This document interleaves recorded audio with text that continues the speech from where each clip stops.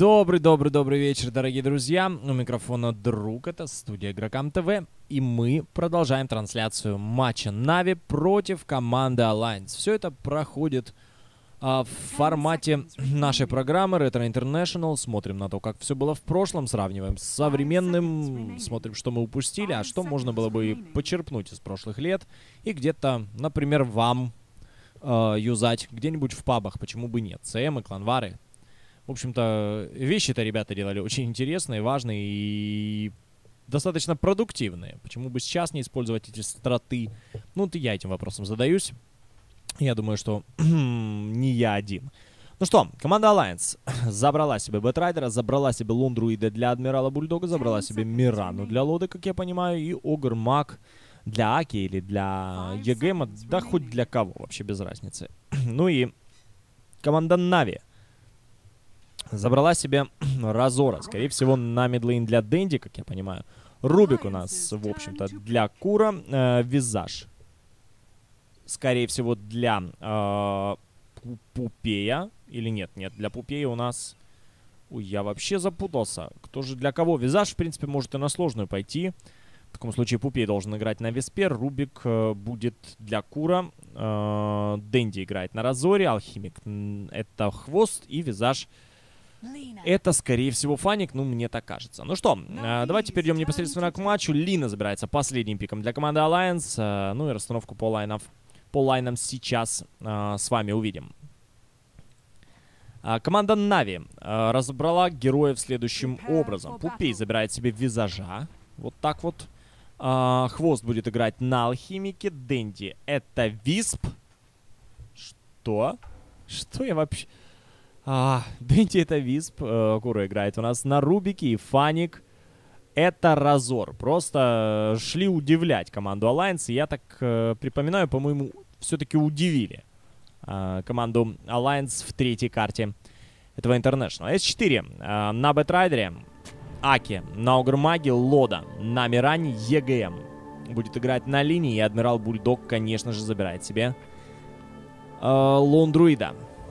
Лондруид олдскульный, старенький, где медведь умирал, и с основным медведем умирал его Пэт. э, в общем-то, тот, на которого еще никакого аганима не придумали. И Адмирал Бульдог, когда возвращался м, в команду Alliance, как раз был очень крутой э, аганим для э, Лондруида, как по мне. Аганим, который позволял э, Лондруиду э, быть таким автономным. Э, в общем-то, мы знаем прекрасно все, что сам по себе э, медведь мало ценностей нес- несет, особенно на ранних этапах, до мидгейма тем более. А сам по себе основной э, друид не несет ценности, потому что медведь дерется, дерется спирит.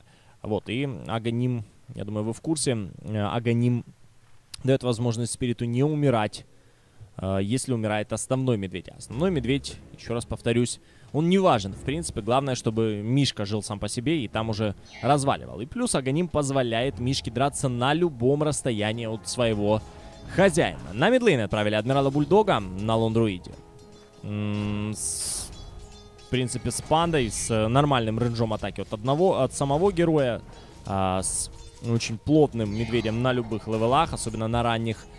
А, Дэнди, в общем-то, проблем каких-то не должен э, Адмиралу Бульдогу здесь, по идее, сделать. Ну и Дэнди на виспе. Вообще удивительная штука. Сейчас не берется висп у нас на мидлейн. Я думал, я, кстати, и не помнил это. Дэнди на виспе, это прям вообще я удивлен на данный момент.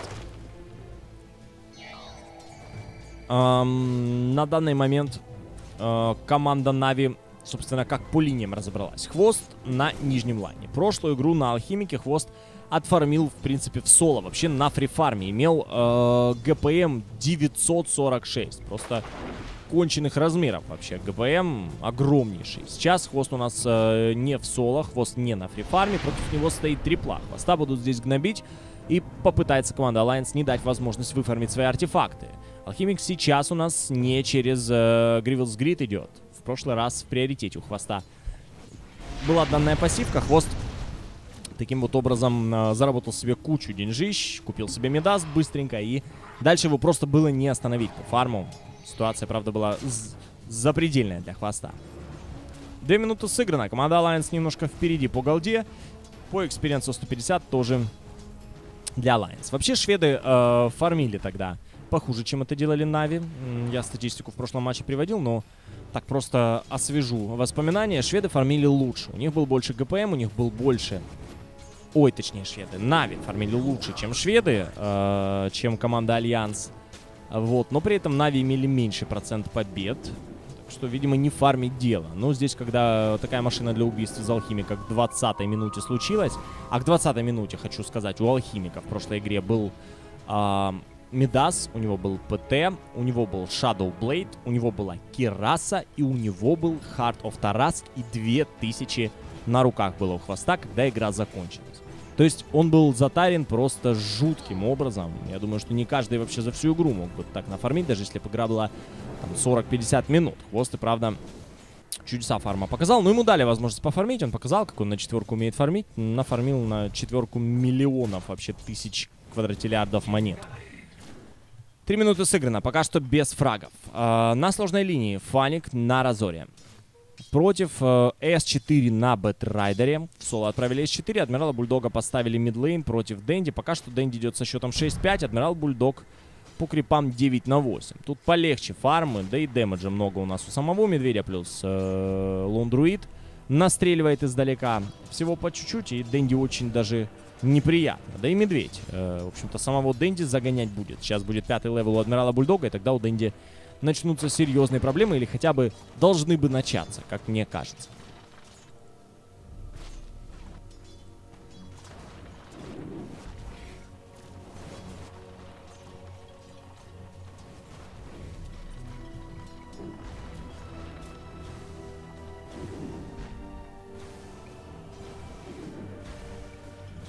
Кстати, по героям на тот матч э, статистика героев, которые были э, в пике и вообще выпадали. Давайте я вам коротко расскажу десятку наиболее пикабельных героев этого интернешнала. А, Outwell Devourer. Uh, нет, Outwell Devourer здесь нет. Это у нас самый uh, часто забаненный герой uh, Devourer. Самый часто пикабельный это э, визаж был. 85 раз забирали визажа. Банили тоже визажа достаточно часто, но забрали его 85 раз. И winrate на этом герое у всех команд на всем турнире был 56%. Weaver на втором месте 73 раза. Пикнули его 58% winrate. Рубик 69 раз был пикнут, 68 Nature's Prophet. На пятом месте был Lifestealer с 67 пиками. Чен 64 пика, шестое место. И, кстати, winrate у Чена, я смотрю, самый большой. Да, у Чена 61% winrate. Если он появлялся в пике команды, то команда знала, что с ним делать. И э, в большей э, части матчей выигрывала. Ну, Алхимик 60, Dragon Knight 57, Dark Seer 56 и Бэтрайдер 47 раз был пикнут. Процент не очень крутой. Э, только Dark Seer имеет положительный процент побед 50 7%. Остальные все 44, 45, там 41. А, в общем-то, больше проигрывали, чем выигрывали. Нави по фарму опережают своих оппонентов и доказывают, что они могли тягаться с э, Alliance в 2013 году во время этой массовой истерии по поводу того, что Alli... Alliance не контрится. 300 по голде в плюсе Нави, по экспириенсу 250 в плюсе Нави. И здесь Адмирал Бульдог забирает Дэнди на midlane е. Мы можем это посмотреть. Все-таки как это, 2015 год. Почему бы и нет? Смотрим повтор двухлетней давности. Почему бы и не посмотреть? У Адмирала Бульдога уже шестой левел. Ну и здесь, я так понимаю, с корнями проблемы случились у Дэнди. Да, корни прошли по Дэнди. Один удар, второй удар, и Дэнди не уходит отсюда. Адмирал Бульдог забирает первый фраг для команды Alliance и FB для э, Адмирала Бульдога, который и так фармит просто как чокнутый сам по себе. Э, кстати, давайте скажу GPM средний на этом турнире для Адмирала Бульдога. 485. Круто. Достаточно круто для оффлейнера. 191 крип в среднем за игру у нас для Адмирала Бульдога. Пока что он на первом месте по э, крипстату. Бэтрайдера, кстати, здесь гоняет Разор. Бэтрайдер отсюда уходит. Дэнди решил настрелять Адмиралу Бульдогу, но Адмирал Бульдог Дэнди не боится. Вообще, давайте по крипстату пробежимся. На первом месте Бульдог. Мы это видели 22 э, крипа у Алхимика. Он на втором месте. Э, после хвоста идет С4 на Бэтрайдере. У него 21. Фаник на четвертом месте. И на пятом месте Дэнди. И Лода несчастный э, в этой игре фармит, ну, на уровне с саппортами. У Лоды 7 крипов, а у Визажа, например, на котором играет Пупей, 5 крипов добито. Ну что, цепляют у нас Лоду. Прилетает сюда Дэнди. Дэнди на relocate 'е. Минус 2, скорее всего, делает Нави в этом файте, да. Они забирают Огр Мага, на котором играет Таки, и они забирают Лоду на Миране. Команда Нави э, огрызнулась после ФБшки, и Дэнди тут свирепый просто ворвался на нижний лайнер, сковыряли а, вот эту вот триплу, которая у Alliance не очень-то и задалась и по фарму, и по крипам, и по левелу. Еще и наказали их. Вообще непонятно, как Лоди сюда возвращаться. И будет ли он, в принципе, сюда возвращаться, сейчас узнаем. Да пригорюнился Лода, отправился на топ-лейн. Поняли, что надо свапаться линиями, потому что проблемы. Проблемы очень более чем ощутимые. Ну что Аки у нас э, старается выйти на Фаника. Тут, в принципе, Фаника не харасит, потому что Фаник э, далеко от своего тавра не отходит. Ну и трипла смещается на топ-лейн. Трипла э, превращается вообще в 4 плу. Лода поставлен здесь для фарма хоть как-то набомжевать себе хотя бы какие-то копеечки. Ну и остальные тут рядом тусуют. Угрмак далеко не отходит, остальные вроде как э, немножко пройтись решили по карте. Фаник смещается на э, мидлейн. Видят Адмирала Бульдога. Адмирал Бульдог здесь принимает э, труформ. Ну и Адмирал Бульдог, в принципе, дэмэджа очень много подарил Фанику. Фаника плюс 105, просто на S4 можно было бы и подраться, но Фаника очень мало хп в данном случае. Хилит его Дэнди, по крайней мере, пытается Фаник на развороте. Лину, например, забрали бы, если бы чуть пораньше развернулись. В итоге Нави забрали двух а, нет, не двух. Нави на два фрага опережают своих оппонентов. Счет 3-1. 8 с копейками минут. И Нави по голде выигрывают тысячу по XP. Тоже порядка тысячи в пользу украинского коллектива.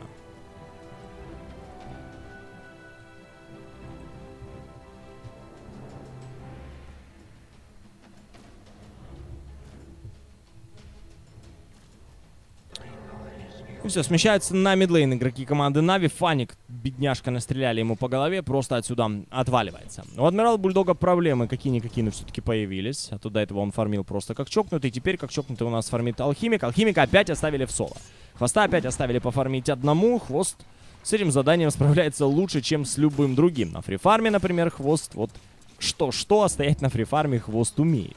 И никто пока на него внимания не обращает, никто сюда не смещается. Здесь мультиспауны, все это для S4. S4 а, решил себе на dagger насобирать деньжищ, и у него, я думаю, это получится достаточно быстро. Но сам факт, линия остается пустой, поэтому хвост, а, если бы, конечно, пораньше, то в Мидас пошел бы. А так, я даже не помню, был там Мидас, не было Мидаса.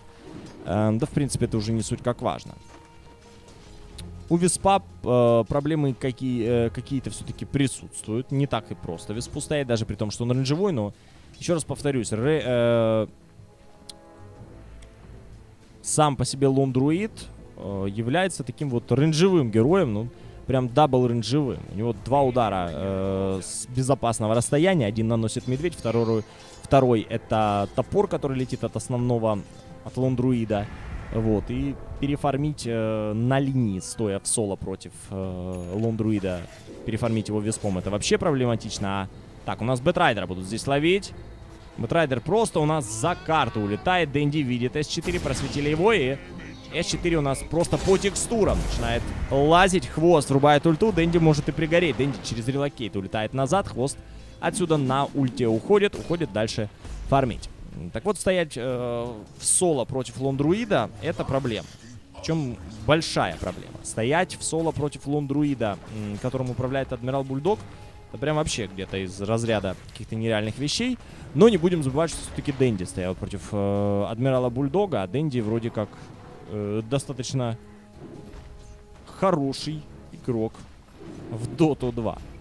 Вот, поэтому Естественно, тут э, провалов больших не было. Был бы это не Дэнди, я думаю, могли бы и огромные проблемы быть у самого Виспа. В любом случае, Висп проигрывает. 25 на 9 у Дэнди и 41 на 22 у Лондруида. Адмирал Бульдог теперь еще и в лес смещается.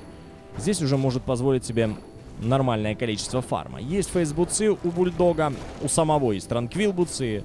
В общем-то, он в безопасности, фармить будет быстро. Я думаю, где-то минуты до 20 мы с вами и радианс увидим на этом герое. Ну и вообще, кстати, Адмирал Бульдог на Лондруиде это фактически гайд на Лондруида. Если у вас руки хотя бы наполовину настолько же прямые, насколько прямые они у Адмирала Бульдога. Ну и на Фурионе, разумеется, тоже чуть ли не гайд на Фуриона можно писать с любой игры Адмирала Бульдога. Он запатентовал этих героев, закрепил их за собой.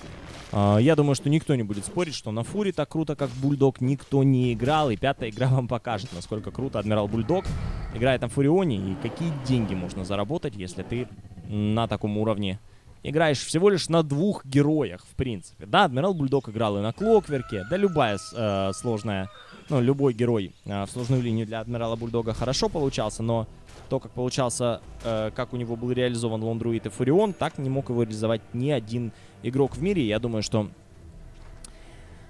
и не будет мочь. Пока что, по крайней мере. Пока что, мне кажется, там э, на несколько лет вперед Адмирал Бульдог вот этого образца 2013 года ушел на этих героев. И сейчас я смотрел, сейчас это достаточно хорошо и интересно, но м, просто альянсы сами по себе не тащат, и они смогли доказать это э, всему миру, что Alliance, скорее всего, свое время уже изжили и э, как коллектив закончились. Просто не попасть на International для команды, я говорю сейчас о 2015 году, о наших о сегодняшнем дне, в частности 2 июля. И на данный момент, вот э, состоянием на 2 июля, а, Alliance пропускают ближайший International, который будет в августе. Не попасть на International это отложить э, свою реализацию как команду и свой какой-то взлет и денежный, и информационный, и взлет интереса к команде. Отложить еще на год как минимум. То есть попадут они, не попадут на следующий International, наверное, не попадут. И мне кажется, что и по возрасту команда Alliance уже не такая, которая могла бы э, как-то воспрять духом и начать тащить где-то после, э, после 2015 2016 У меня такие же вопросы, не такие же вопросы, а примерно такое же ощущение и э, касательно команды Нави. Если бы Нави не выиграли европейские квалы, если бы они собрались и были бы на том же уровне, на котором они были Э, в мае, э, в марте, наверное, в марте, в апреле 2015 вот этого года, то, мне кажется, вполне актуален был бы вопрос о том, что команда Нави просто обязана полностью сменить состав. Потому что смотрелись они, ну, извините, конечно, все фанаты Нави, но смотрелись они к середине, не к середине, где-то к январю, февралю, марту 2015 года просто жутко. Команда, команду нельзя было узнать, и э, все эти перетрубации по составу, поиск э, собственного стиля игры, который был вообще безвозвратно утерян после International 2014. Попытка избавиться от Габлака, я не знаю, еще какие-нибудь э, поиски от команды Нави. Э, все это создавало впечатление у меня, например, э, сложило такое, что если команда Нави не попадает на инт, то, скорее всего, она как э, в данном составе, как, по крайней мере, заканчивает свое существование. У Alliance та же история, но Alliance не попали. Нави попали, причем попали э, очень ярко. Попали так, что шансов вообще никому не оставили. Якорей там поотправляли, и Непов, и Вега тоже в гранд-финале ничего с Нави сделать не смогли, а Вега на очень плотном подъеме. Ну и Нави так тряхнули стариной здорово, что я думаю, есть все шансы нормально выступить и попасть даже в призы на Интернешнл. При том, что Вспомним просто, кто у команды Нави капитан. А, капитан у команды Нави Артстайл, и я думаю, наверное, все смотрели, но если не смотрели, скажу, а если смотрели, просто напомню. Возможно, вы видели интервью Артстайла с первого Интернешнала, где-то там на рубеже полуфинальных э, каких-то матчей, где э, Ваня говорит, что какая мотивация конкретно этого турнира, что вообще, что вами движет, почему вы так тащите. Вот, и он сказал абсолютно откровенную, может, не очень там корректную, с другой стороны, это профессиональный спорт, почему бы и, и нет. Э, он сказал, что деньги, вы просто посмотрите, какие призовые, а тогда призовые были 1 миллион долларов. И им двигали деньги, желание выиграть эти деньги. Но эти деньги с собой несут еще и признание всего комьюнити, они присут, при, при, э, несут с собой э, звание чемпиона, они несут внимание, все дополнительно, то есть и полезно, и приятно для команды Нави. И тогда артстайл так сильно э, был мотивирован суммой в 1 миллион долларов, ну, кто бы не был мотивирован, а, я думаю, вы должны представить мотивацию сегодняшнюю, когда на кону уже более 15 миллионов долларов призовых. 15 миллионов долларов, то есть э, за первое место, я, если я не ошибаюсь, я думаю, где-то 6 с копейками, да больше, наверное, даже где-то миллионов 7 получает у нас победитель Интернешнл. Призовые места тоже получают громаднейшие деньги, которые не получал э, победитель ни одного из первых трех Интернешнл. Естественно, тут будет двигать э, и желание получить все эти деньги. Да это возможность просто безбедную старость и себе, и своим детям, и своим внукам организовать, просто играя в компьютер. А, конечно, тут бороться стоит в 2015 году. Ну, пожелаем удачи. Команду Alliance мы там не увидим. Команда Alliance а, свое отыграла вот здесь, в этом матче, э, в этом Best of Five, который мы с вами наблюдаем. Собственно, для всех, кто подключился к нам не так давно, я объясню, что вы сейчас наблюдаете, что на ваших экранах происходит. Это рубрика Retro International от, э, команд, от команды, от студии Игрокам ТВ. Вот, мы смотрим на матчи прошлых интернешнлов, главного турнира и пытаемся сравнить с современной дотой, пытаемся анализировать ситуацию того времени и как-то ее а, спроецировать на сегодняшний день. А, чтобы, собственно, ну, какие-то уроки для себя извлечь. Ну что, хвоста у нас зацепили. Хвоста отхилил Дэнди, хвост разворачивается, начинает наваливать по S4 под Эйсид спреем рассыпался просто. S4, капитан команды Alliance, бедняжечка, огреб очень сильно. Ну и Алхимик. Под ультой а, хил огромнейший, просто э, вообще кусками прилетает хпшка у нас алхимику. И на опережение полетел алхимик. Должны ловить Лину. Влетает. Колба у нас от алхимика в Лину. Лина отправляется в таверну. Счет становится 16-2. Круто. Круто. Um, команда Нави. По голде выигрывает 3000, по экспириенсу они выигрывают э, ничего фактически, хотя до этого выигрывали больше. Ну и так, я буду э, моменты частично обычного тупого фарма перекручивать, чтобы мы с вами больше на замесах э, наблюдали за матчем. Мне состояние драк гораздо больше интересует. То, как фармит Нави, в общем-то, всем это понятно. Это все не первый раз э, все видели, да и статистика говорит о том, что Нави фармит очень хорошо. Ну и как фармит Alliance мы тоже, в принципе. Пока не будет драк, в общем-то, можно на X2 скорости смотреть. Ну что, Нави сносят tower на мидлейне. Хвост продолжает фарм. У него 4 куска уже э, по голде на руках. У него есть Shadow Blade. У него сейчас, в принципе, может появиться Кираса. Ну и не может появиться, скорее всего, и появится Кираса. Команда Alliance пока что спокойненько занимается точно тем же, чем и Хвост, просто с меньшей результативностью. Хвоста 114 крипов, по нетворсу Хвост 9600. 7000 у Адмирала Бульдога. Это лучший в составе команды Alliance по фарму э, игрок. Ну и Хвост опережает его на сколько? На 3000. На 3000. Ну до хрена просто. Просто до хрена. Через 3 секунды у Хвоста будет Chemical Rage. Можно будет теперь и пофайтиться с, даже с неприятными ребятами, такими как Эншенты. У Хвоста э, Тараска появляется хвоста готова Тараска. У хвоста теперь хп реген э, громаднейший. 46 в секунду. Плюс э, под Chemical Rage вообще громаднейший будет э, прирост хп для керри команды Нави. 22 минуты сыграно. Появляется на 22 минуте у Лондруида э, Radiance. Теперь э, Адмирал Бульдог со своим медведем становится более чем опасен. И линии можно пушить. И э, файтиться, например, тому же Виспу будет очень неприятно. Рубику от э, Куроку тоже будет невероятно неприятно. Но команда Нави пока что стесняется на файт. Не нарывается, но и смог пошел от команды Alliance. Как я понимаю, здесь может быть и файт. Ну что, будем смотреть. Бэтрайдер у нас уже с даггером. Бэтрайдер на хвоста врываться, наверное, смысла нет. Хвост у нас под Chemical Rage. От лоды полетела стрела просто в никуда. На low хп а, пока никого не вижу. Ну все, файт закончился без фрагов. Развернулись и ушли. Ладно. Ускоряемся. И смотрим, куда нас все это приведет. Команда Нави выходит у нас на Роху. И на Рохе, естественно, файт все-таки будет организован. Цепляет С4 у нас хвоста. Вытягивает его на хайграунд. Хвост просто файтится в куче врагов. Разваливает Огр Мага. Дэнди отваливается, Кура отваливается. Хвост уходит в инвиз, у него есть Тараска, он отхилится с чокнутой скоростью.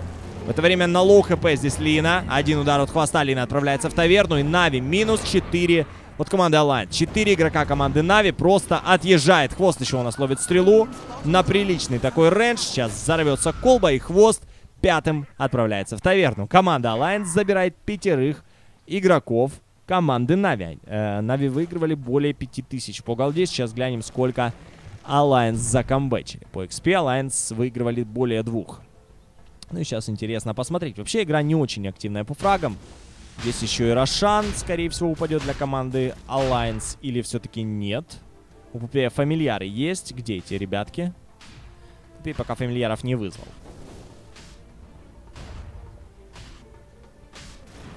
Ну и Роха на low HP здесь. Уже Роха. С Рохой надо э, что-то решать команде Нави.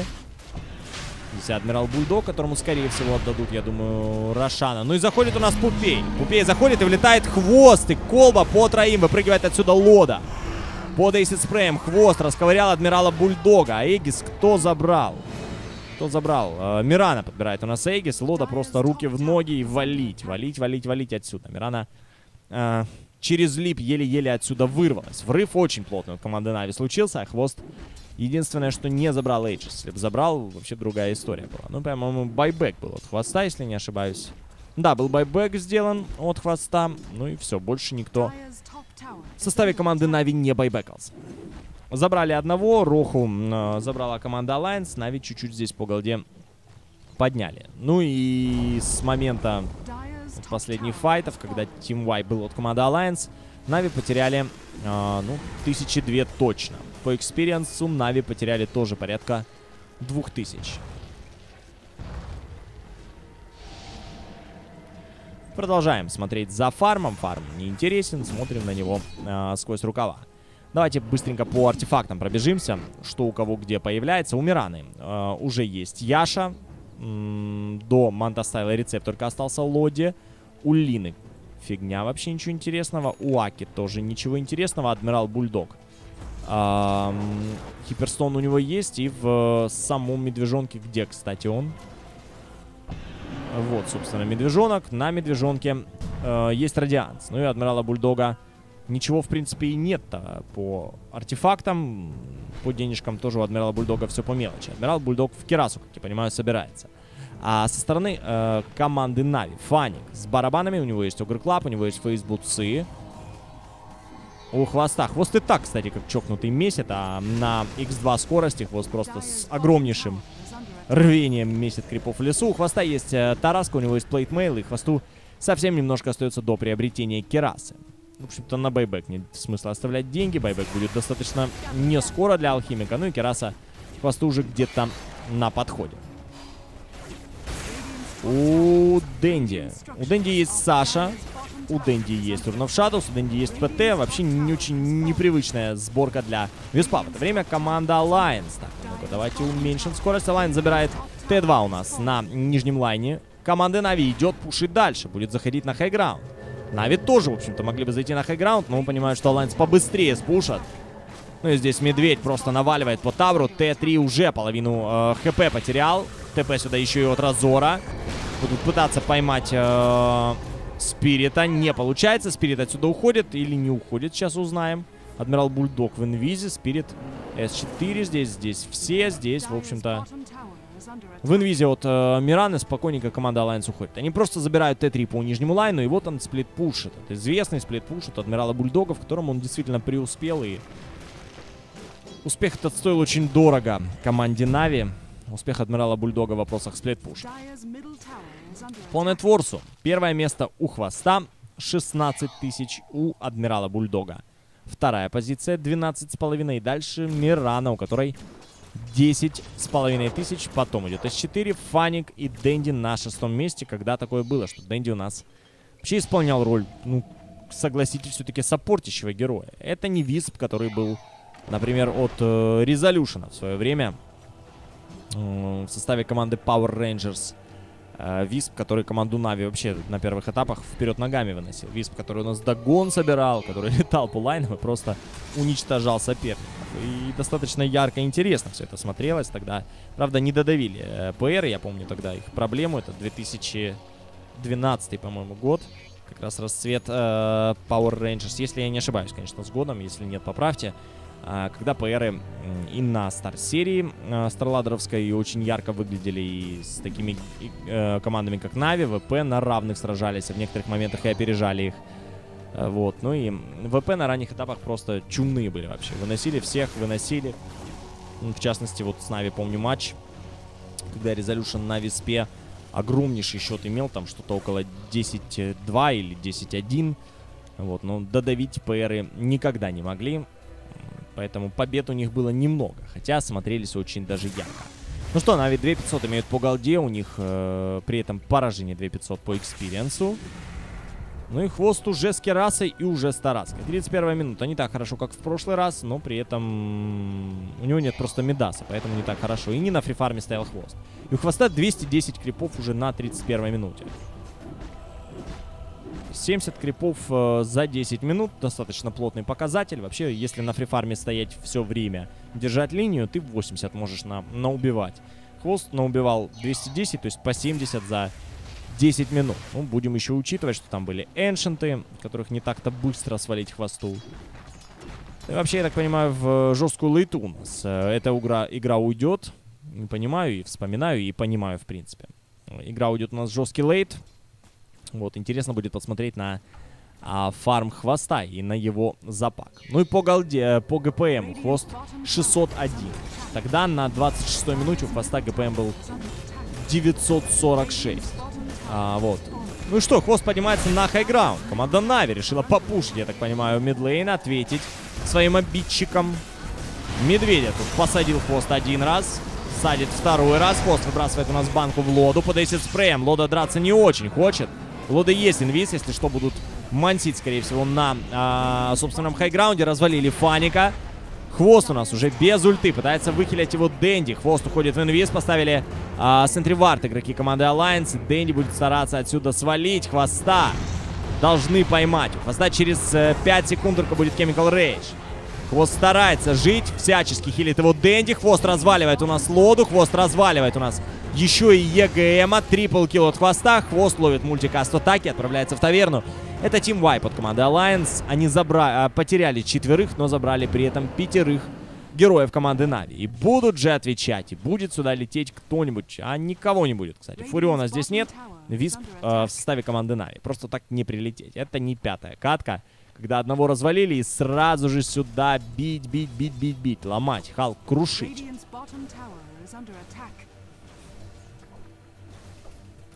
Ничем, собственно, серьезно команда Alliance не ответила. Да, подпушили линию, да, наверное, Т2 заберу. Пока нет Веспа, пока нет Алхимика, можно вообще и на Т3 зайти. Alliance не стеснительных были. Могут и зайти. Фаника поймали. Фаник ловит у нас еще и Fireblast от Огрмага и отправляется в таверну Фаник. Его 50 секунд не будет, команда Alliance будет заходить. Нет хвоста, в принципе, 10 секунд, почему бы не зайти? За 10 секунд Медведь tower должен сожрать. Тем более под ультой, э, под бафом, точнее, вот от э, основного Медведя через, э, через, через Battle Cry, естественно, через Rabid. Хвост уже где-то здесь поблизости, хвост в инвизе. Банку раскрутил и, наверное, сам по себе взорвется хвост. Так и есть, в инвизе хвост взрывается, не проблема для него. Команда Alliance далеко не уходит. Решили покрутиться на одном месте, и хвост пошел фармить. 34 минуты сыграно. По голде Нави проигрывают... Не проигрывают еще ничего по экспириенсу. А Нави проигрывают 7,5 тысяч. По голде на Тусвинцер в ноль спустились, хотя до этого выигрывали более 5к. У хвоста 5000 золота на руках. Просто огромное количество налички. Хвост мог бы их потратить и, наверное, потратит. Единственный вопрос на что. Да и вообще интересно, как алхимики, керри-алхимики.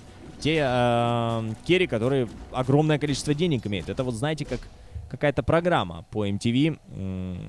Типа вот вам миллион долларов. Как, ну, вообще программа у жизни богатых людей. Вот программа у жизни богатых э, героев. Герои, которые могут себе позволить купить, в принципе, все.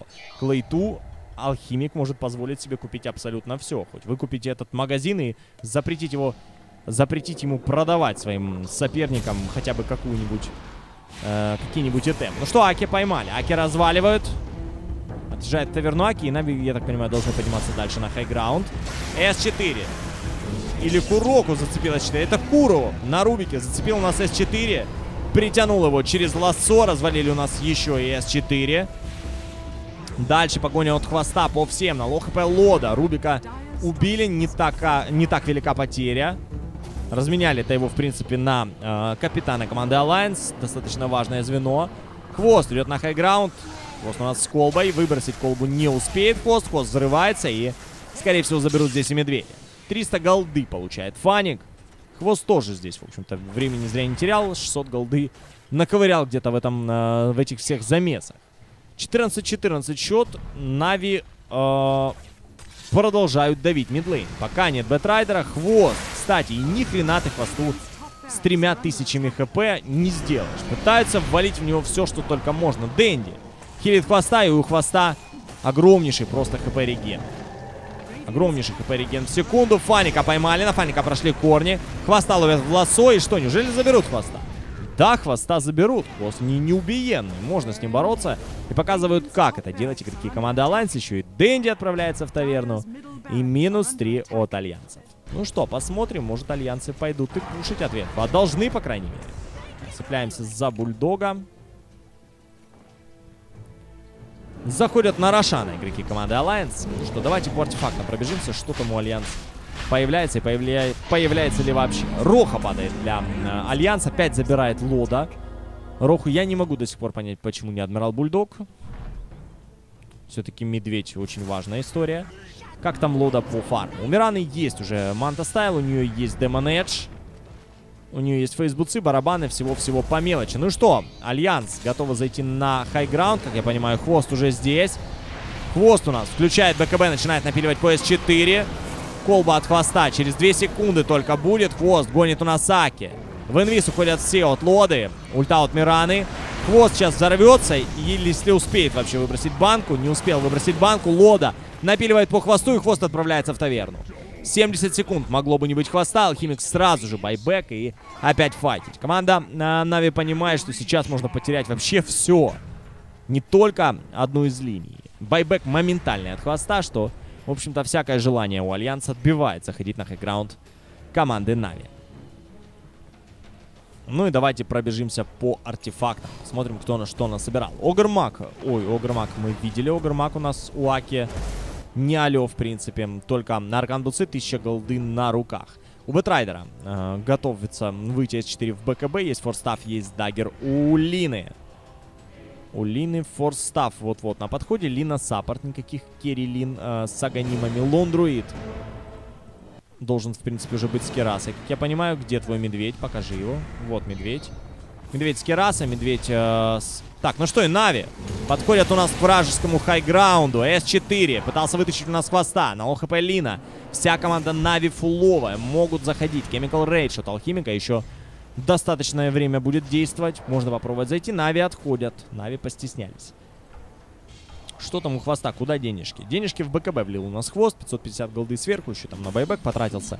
В принципе, все это видели. А Разор от Фаника с БКБ, у него есть phase буцы, у него есть of Endurance, у Кура есть э, Dagger, у него есть Bracer, есть Arcane Буцы. Ну и Визаж с Мекой, Пупей у нас э, с Мекой и с Arcane Буцами. Вари Guardian Greaves, чувак. Придумывай машину времени, лети в 2015 и вари Guardian Greaves. S4 цепляет у нас хвоста. Хвост что-то зачастил со смертью. В Chemical Rage ходит у нас хвост, 63 HP в секунду реген. Хвост выбрасывает банку у нас в Аке. В никуда летит стрела от Лоды. Аки здесь рассыпается. Ну и дальше погоня за Медведем. Высасывает дэмэдж из него Фаник. Покажите Фаника. У Фаника плюс 224. Бей не хочу. Любого, в принципе, Фаник здесь соло должен расковырять. И Медведь, и Медведь, и Бараки, да и все-все-все. Ну и все, Фаник заходит на хайграунд, начинает напиливать у нас Барак. Хвост уже здесь. Глиф от команды Alliance. С4 все-таки время пытается выиграть, пока нет Угермага. Пока нет Лины, драться 5 в 3. Это глупо. С4 просто рассыпается под эсид спреем. Хвост БКБ. У хвоста сейчас уже готов Chemical Rage. Теперь хвост может быть любого. И я думаю, что Медведю сейчас будет очень неприятно. Медведя пытаются зацепить, у Медведя 140 хп, Медведь отсюда уходит. Мидлейн команды э, Alliance, в принципе, рассыпан. Рейнджевой барак э, остался только работать, а остался стоять, а милишный разваливается. И команда Нави не уходит далеко. Кура готов еще кого-то цеплять или нет? Нет, Кура улетает. Дэнди Нави спел у нас улетает на базу. Команда Нави здесь по голде, в принципе, должна неплохо так отыграть. Сейчас посмотрим обновление графика.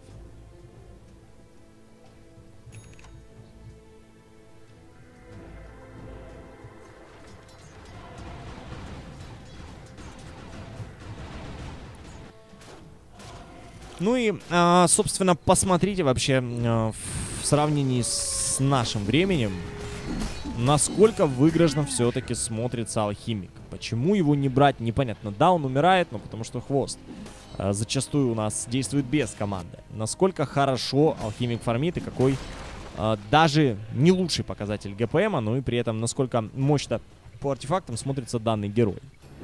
Напомню еще раз, в прошлой игре, кто пропустил, в предыдущем матче, Хвоста был ГПМ 946. Просто запредельный ГПМ. Эти все артефакты, которые у него сейчас, без а, БКБ разве что, были на 20 минуте. То есть в два раза меньше времени понадобилось, чтобы все это выфармить. Просто жесть как много. Ну что, хвост у нас в инвизе. Полетела банка в С4. У хвоста Chemical Rage есть. И С4 просто рассыпается. Висп от Дэнди забирает у нас С4. Дальше погоня за Лодой. Пока что минус один от команды Нави. У хвоста есть колба. Хвост не врывается. Можно, в принципе, и подпушить команде Нави.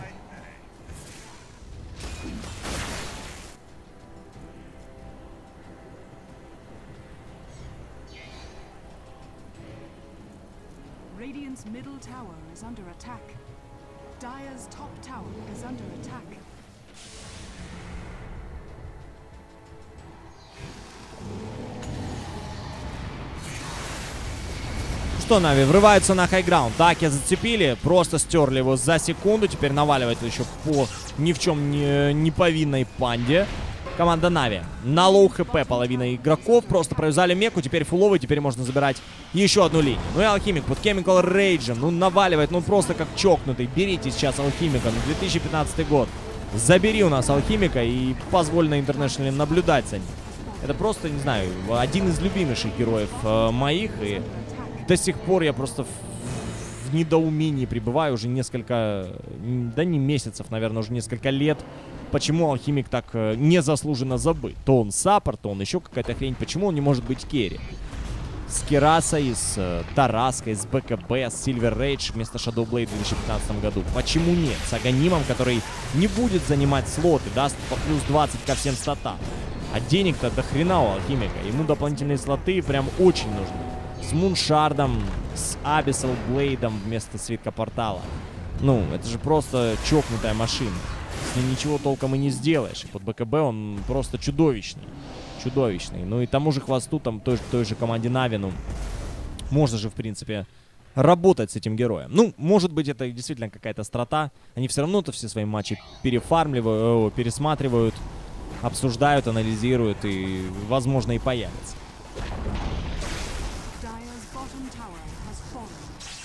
Кто на миду стоял. А, на миде Дэнди отстоял против Адмирала Бульдога. Дэнди на Веспе стоял против Адмирала Бульдога на Лондруи.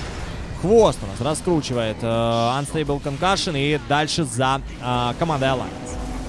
Понемножку, по чуть-чуть, по куску отковыряли от игроков. Теперь будут разбираться еще и с бараками. Но это последний барак от команды, э, у команды Alliance. Половину HP сбили алхимику, ему плевать, он просто пилит барак. С разворота теперь можно и остальных развалить. И на фул колба ворвется или нет? Ворвалась колба у нас в Адмирала Бульдога. Хвост на low HP. Старается отсюда уйти. Хвоста развалили. Сразу же buyback от хвоста. Не надо идти сливаться. Не надо. Или хвост все-таки будет у нас Boots of Travel покупать? Нет, хвост покупает у нас Basher. Хвост байбекнулся, но это уже мега крипы, насколько я понимаю. А... Ну, вроде бы да. Секундочку. Да, мега крипы. Для команды Нави, по идее, uh, сейчас спушат. Спушат просто как детей. Почему не берут алхимика? Потому что его кайтят. А, для того, чтобы его не катили, в принципе, есть, во-первых, а, Shadow Blade, есть, а, естественно, Silver Edge, который для алхимика прям великолепен. В конце концов, есть даггеры. В конце концов, есть команды с форс-стафами, которые могут тебя толкнуть куда угодно. Кайтить это как-то прям от, а, не очень отмазочка. Не думаю, что если вот такой вот молотилка такая, как алхимик, э, может, в принципе, э, ворваться в файт и расковырять сразу трех-четырех, э, вопрос одного кайта, наверное, можно решить. Ну, скорее всего, можно решить. Потому что сейчас очень много дополнительных артефактов, которые на месте будут держать соперника. Тот же ЕУ, который собирается на любой вообще собаке. Те же форстафы, без которых вообще у нас саппорты не существует. Тот же Глиммер Кейп, который позволит а, алхимику подойти куда угодно. И можно, например, один слот Shadow Blade, да на что угодно потратить и приобрести что-нибудь вообще запредельно серьезно. Хоть вторую, там, 2-3 тараски алхимику э, Тари. Тебя куда угодно затащат. Ну что, GG пишет команда Alliance. А, GG пишет команда Alliance. Это а, третий матч. Третий матч заканчивается в пользу команды Натус Винсере. Ну и что? А, Нави показали, что против Alliance можно биться. Все, в общем-то... Все, в общем-то, реально абсолютно. И то, что Alliance э, такие, в, общем-то, непобедимые с виду казались, все это, в общем-то, миф.